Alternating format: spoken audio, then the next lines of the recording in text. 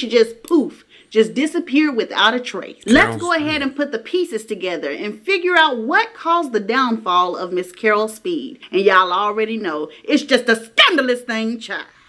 Let's get to it. I'm not sure what's true or false in this video. I take gossip and tea and. This is from a YouTuber uh, called uh, Ashley Says So. Uh, check out her YouTube channel. She's talking about a writer from Hollywood back in the day called Carol Speed. Let's get into it, guys. I'm gonna come back, come back with my reaction. Hit that thumbs up button. Ann Stewart, aka Carol Speed, was born March the 14th, 1945, in Bakersfield. Oh, shit, she put the damn thing on that because it's case. How do we do it? Re redo it. How do we do it? Because she got the thing on her side. Let me see. Yeah, it looks weird. See, you gotta move this over to this side. Uh, shit. I don't know why she put it like that. Can you? Is it still recording? Yeah, okay. I'm just gonna let it ride. Fuck it, whatever. All right, guys. Thanks, thanks for bearing with me. Let's go ahead and continue on. California. Her mother's name was Cora Valerie Stewart, and her father's name was Freddie Lee Stewart. and along with Carol, the Stewarts were said to have had at least three more children. And all of these children, along with the Stewarts themselves, uh, were said to have lived wealthy. And so hmm. back to Carol, she was brought up in immense comfort, you know, and she also was able to match the prosperity of the white children that she lived around, especially when the family moved to San Jose, California. Gossip claims it was here that Carol decided that she wanted to go into acting at 12 years old, and she immediately snagged her first role in a big production of The King and I. And it was also around this time, oh, wow. 12, 13 years old, that she started a uh, music group with two of her cousins. And so, as you can hmm. see, Carol was definitely a child that was brought up uh, believing that she could do anything. The folks say that she went to a school that was majority white, and Carol quickly became the most popular girl in school. She hmm. was voted best all around of her her senior class. She even was the homecoming queen. The first. She's very pretty. Very pretty young lady. Hit the thumbs up button black girl to do it in her whole county. So Carol was pretty much a star. You know, everybody told her so. She always excelled at everything. Whatever she wanted, she did. And on one side, this was a great thing. But on the other side, this type of behavior or achievements caused a really big ego boost. You know, mm. you hmm. sometimes start to expect people to just give way and almost worship you or admire you. Mm-hmm. And so mm-hmm. sometimes when that admiration diminishes, things can go bad because that person's mental state possibly can't handle it. And mm. this may be what happened to Carol Speed later on in life. But to finish talking about her early years, after she graduated high school, she began singing background for a singer Bobbie Gentry. And for a second there, you know, she was in limbo. She didn't know whether she wanted to sing or act. And then suddenly she decided she wanted to be an actress. So Carol hit the ground running, baby. I'm talking about she didn't take no acting classes. She didn't try to get an agent. She didn't do anything. She basically just hit the ground running, going up to the studios, telling them, hey, I want to act. What can I do? And I kid you not, guys, it was almost like Hollywood had been waiting for Carol Speed to show up. Her very It's like it's funny back in those days. I'm thinking this took place what in the 60s. Back in those days, you just could just go up to a studio and just, hey, I want to be an actor. You know, okay, come on in, go around the back, take a picture of you. You know what I'm saying? You just could do that. You can't do that no more first role of doing anything was on the hit show Julia. And yes, her role was kind of minor, which was the character Clara Dorman, but still, your first time acting and you book a show like Julia? And after Carol booked Julia, the roles just kept coming, She's honey. Pretty. She also had a role in Days of Our Lives. She appeared in The Psychiatrist, one role that a lot of you may know. She looked like Kimberly Elise. I was just, I was trying to figure out who she reminded me of. Right, it looked like Kimberly Elise right there. I thought that was Kimberly Elise. Know her from? Hit the thumbs up button was when she appeared in Sanford and Son, and she left Lamont at the oh, altar. Yeah. Remember? Oh, that was her. Some of them. She was in a multitude of commercials, and she made a seamless transition from TV to film, with her first ever movie being called The New Centurion. And Carol hmm. showed out in that role. Her ability to play a grimy prostitute led directly to her being cast in the next movie she got, which was a movie called The Big Bird Cage, where she starred alongside Pam Grier. And baby, when I tell you oh, Carol yeah. couldn't stand Pam Grier, baby, I mean she couldn't stand wow. The folks say that she spread rumors that Pam Grier treated her and the other black actresses like they were beneath her. Said that all of the other black actresses would all get together, hang out, have fun, and Pam would never hang with them, but she was always up to hang with the white actresses. And then she mm. did a lot of insinuating, basically saying that Pam Grier was messing around with the actor Sid Haig that starred in the movie. And baby, these are just some of the things she said about Pam Grier. Trust me, as we get deeper into the video, there is plenty more. So after this movie, The Big Bird Cage, Carol You know what? I can see that. A young Pam Grier. I can see her. I mean, I don't know about the other stuff. I can see her not wanting to hang out with hang out with the black girls, and wanting to hang out with the uh, with the white girls. I don't know. I, I can see her doing that, but maybe not. I don't know. Maybe she was just hating on her. on the up.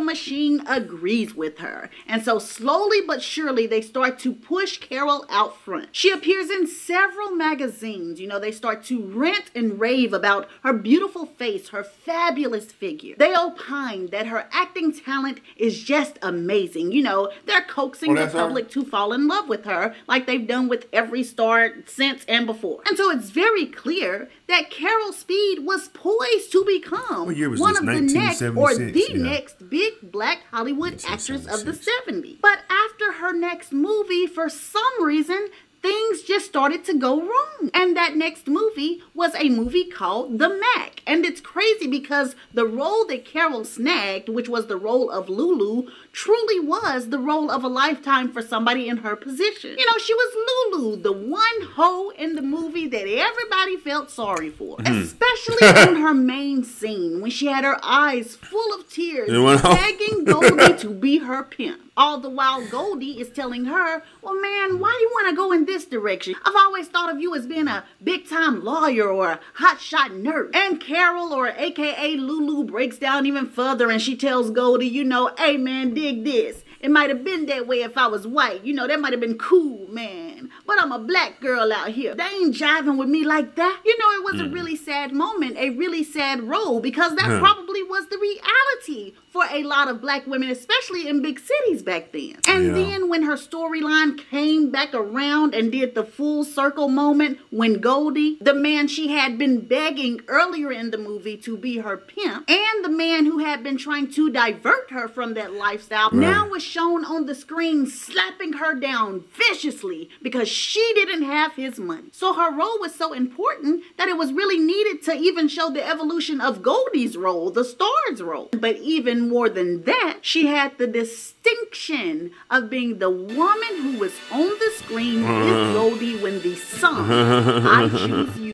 in any timeline at any place when they hear this song, if they have seen the Mack, publicity you could not buy, guys. And you know, it may not mean much to you guys. I don't know if y'all are pumped up like I am, you know, but when it comes to acting and in Hollywood, this is huge.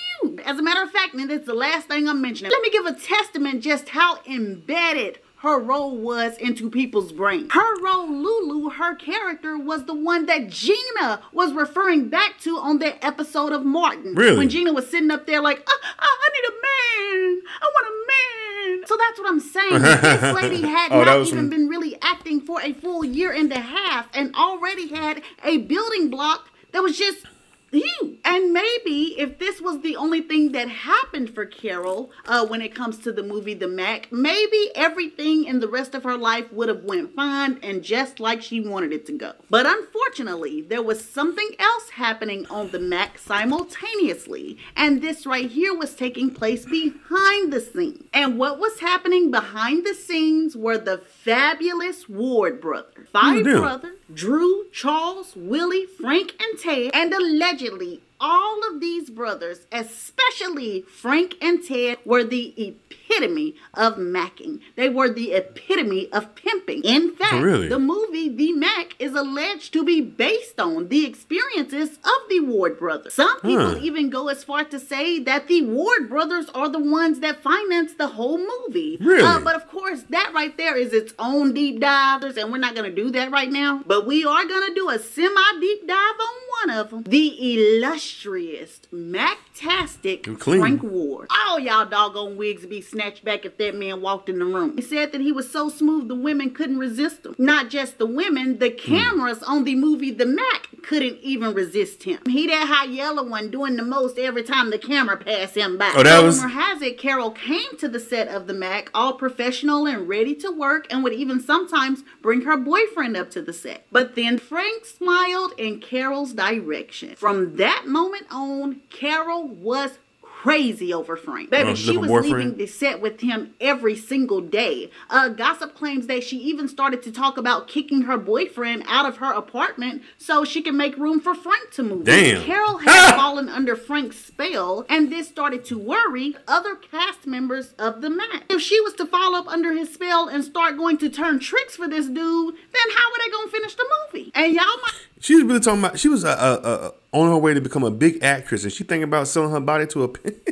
this is crazy. I think I'm talking far fetched. Baby, I am not. Max uh-huh. Julien even put out a statement saying that he was scared that Frank was basically going to turn Carol Speed into a prostitute. So Carol is with Frank But on October the 9th, 1972. at around 3 o'clock in the morning, Frank ended up going to a nightclub called the Chicken Box. While he was sitting in the parking lot talking to several friends, a woman by the name of Blanche pulled up. I don't know if she was one of his many girlfriends or one of That's his her? girls that was on the stroll or one of his boosters because he had those ladies that stole from him. But whatever the case, he allegedly left his car at the club and he got inside of the car with Blanche and they drove off. Well, around 4:30 a.m., Blanche and Frank were parked on the side of a curb in a neighborhood and a car pulled up beside them. The folks say that somebody got out of that car, went straight up to Frank's side, which I'm supposing was the passenger side, pulled out a gun and put it to the back of his head or right behind his ear like that, and they pulled the trigger. Whoa. They shot Frank dead. They then turned the gun on Blanche and they shot her in the head also. Oh. However,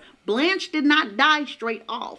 After the guy jumped back in the car and drove off, Blanche actually got out of the car and she ran up to uh, the person's house, whosever house that was, and she banged on the door asking them to get help. They did get help, and Blanche ended up passing away in an Oh. ambulance on her way to the hospital. Now, of course, news spread of Frank and Blanche's murder like wildfire, and that's when Wow. people started to feel like it was Huey P. Newton, the leader of the Black Panthers, Whoa. who put a hit out on Frank What? and had him murdered. Some people What? Claim it was because the Black Panthers did not like the pimping lifestyle. You know, they didn't feel like these guys should be doing this to black women. And then another rumor says that uh, Huey P. Newton killed Frank because allegedly Hmm. Frank owed him a large sum of money and Frank would not pay it. I have no idea What? what, Was this the in reason Oakland? was, but the man was dead and at the early age of only 32 years old. Oh, and the wow. folks say his death just about broke Carol in half. She Wow. went absolutely berserk, Oh, so him. much so that she had a nervous breakdown.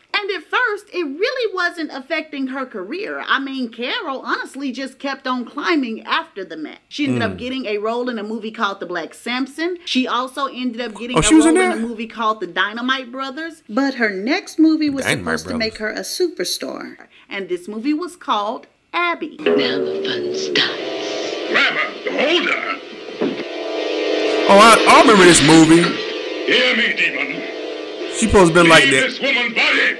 Possessed. I heard about this. I remember this movie. Yeah. Baby, I don't know if y'all laughed at that part, but that part took me out, honey. So anyway, the movie did get completed, and Carol and everybody else were excited for the movie to release because it was supposed to be a huge box office hit. And when the movie was released, it did do very well. But unfortunately, that was only for about two weeks before the whole movie was pulled from theaters and everywhere else because the movie was sued by the creators of The Exorcist, who basically said that the movie Abby was just a copy and a remake of their movie. Ooh, look so how this was a major, major blow for Carol Speed. This was something that she was really looking forward to, the thing that was supposed to make her a star. And with that being snatched away from her, and also with the stuff that happened to her a year before with Frank Ward and her The white folks in Hollywood was like, no, we steal y'all ideas. Y'all don't steal our ideas.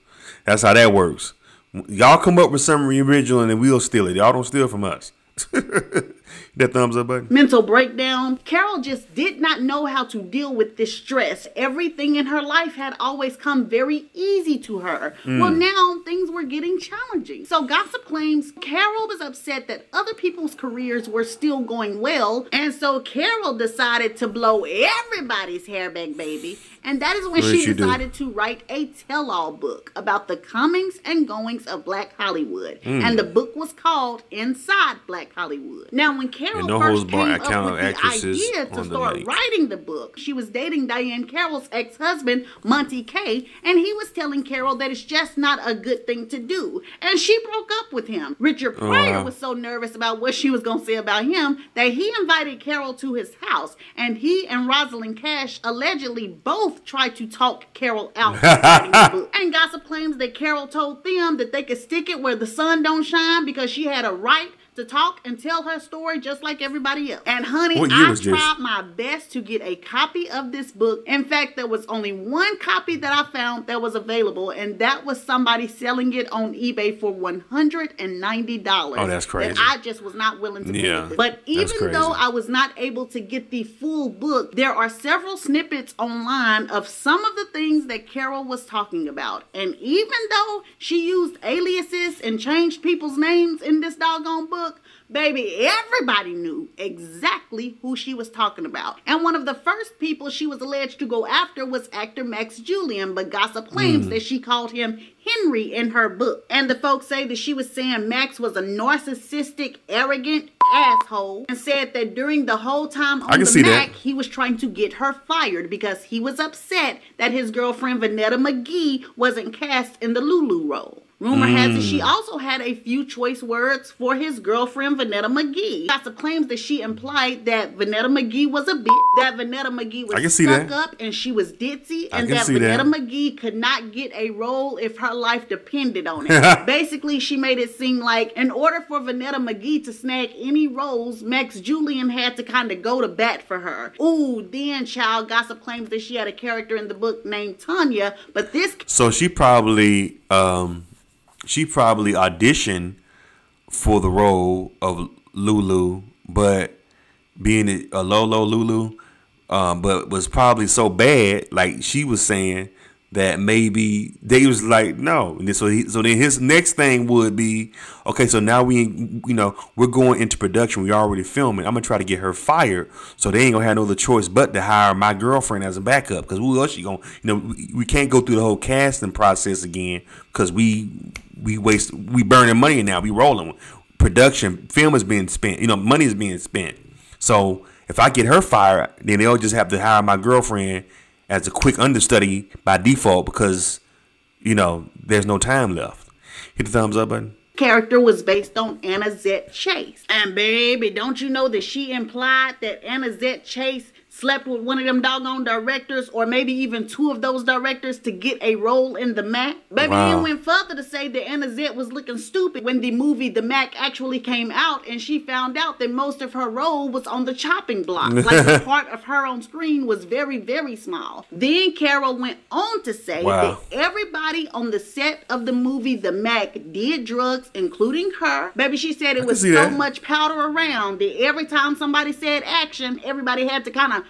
pat their nose just to get the white off of it. Then they say she told a story Mm. see about that. In the her and 70s? Annazette Chase sitting in a room with Richard Pryor. They were all snorting, they were all getting high. And then she said Richard Pryor jumped up and was like, I want to kill somebody. I'm finna kill somebody. And so she was like, her and Annazette took off running out of the room. Baby, why she said she looked back and Richard was running after them. But instead of getting them, he ran past them and ran up to the director, Michael Campus, and uh, punched Michael Campus in the face, knocking him out cold. The folks say all So you got to think this is in the early '70s, at the begin, the very beginning of the '70s. Pe- See, right now, if somebody pulled out some coke and started doing coke in the middle of a party, people would be like, "What the hell are you doing?" If you did that today, people would think, "What the this, coke? This is, ooh, what the hell's wrong with you?" You know what I'm saying? Back then, coke was like chewing bubble gum. In the early, for some reason, when cocaine came out, it wasn't no big deal. Everybody, people, people would do coke at a kid's birthday party. It was like nothing. Hit the thumbs up button. All the bodyguards on the set of the Mack came running in, and you know they pulled Richard Pryor off of Michael Campus. But later on that night, Richard Pryor was still high because he never stopped snorting. So this man ended up finding the hotel that the producer of the Mack was staying in, a man by the name of Harvey Bernhard. Richard broke into this man's hotel room and started hitting this man across the belly with a metal rod that he had stuffed in a sock. And these are just some of the stories. Like I said, this is a small snippet. Allegedly, she said that Pam Grier slept around with a group of men who were of a certain ethnic group. And these men hmm. were supposed to pay Pam Grier a large sum of money, but after they got through with her, they threw her a $5 bill. So, anyway, Carol is sitting around spitefully hmm. writing this book. Everybody is finding out about it all over Hollywood. So, other black actors don't Yeah, but she didn't. You could tell she was already had a problem with with Pam Grier. So how, you know how we know you telling the truth. You didn't like y'all was beefing. Y'all didn't like each other when y'all first when y'all were younger anyway. So it's like how we know you telling the truth. That you know what I mean. want to work thumbs up button. With her anymore. So casting directors stopped casting her. And so in her quest to get back at people, now she was messing her career up even more. And because her career was messing up even more, she was starting to get more and more depressed and she started to delve more and more into drugs. She also started to party a whole lot and spend money that she did not have. I'll tell you how bad things got for Carol. Her last movie, Abby, was in 1974. From 1974 all the way until 1979, that is five years. Carol didn't have any work. And it really seemed like the movie that she got in 1979 was just somebody kind of trying to throw her a little bone. It was really, really a horrible time for Carol Speed. And right after that movie that she made in 1979, she ended up leaving Hollywood and going to live with Sly Stone. Carol stayed with Sly for at least three years before she decided to move away and clean herself up, you know, and get her life back together. But unfortunately for Carol, people hadn't forgot about her book, and also she had been going away from the screen for too long. So she was not able to retain the acting career that she used to have. I mean, she did they- get roles throughout the 80s and 90s and even the early 2000s. Hmm, But go back, these were me go back.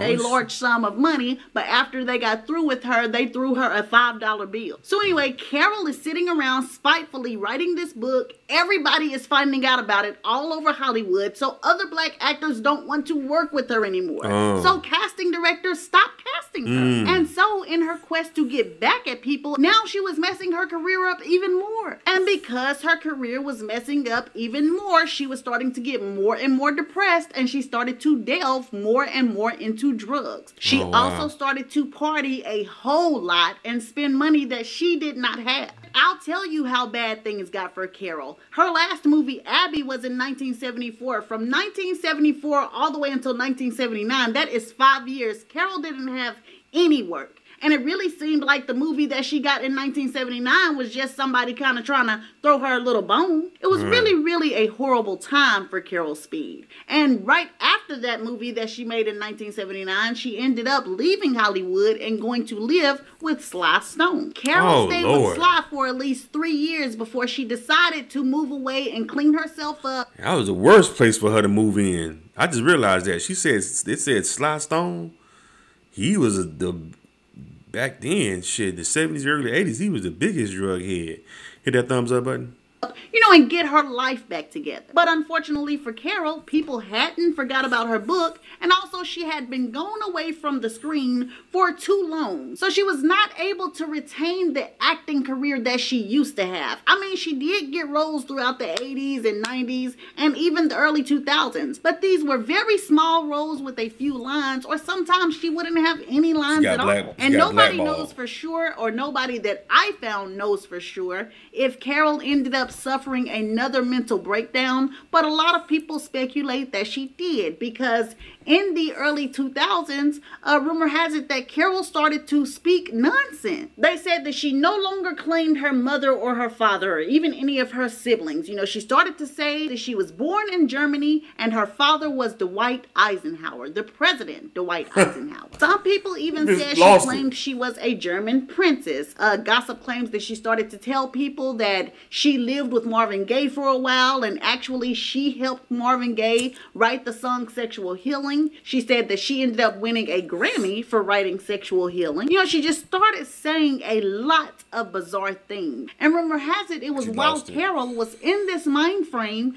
that Quentin Tarantino had actually reached out to her to be a part of his Jackie Brown movie. But I think that he saw that hmm. Carol may have not been all that well, and also I think Carol was upset that Pam Grier was once again uh, had booked the lead role Right. over her. So uh, Quentin Tarantino ended up dropping her from the project. She ended up opening a Twitter account, and not only that, she ended up opening an account on a website called The Author's Den to post even more bizarre things, like saying the actor D'Urville Martin was murdered when um, it's alleged he died of a heart attack. She also could not stand Spike Lee. I think she also said something about Nancy Pelosi maybe stalking her or Nancy Pelosi blocking her from getting emails. Something She about government it. She lost her mind.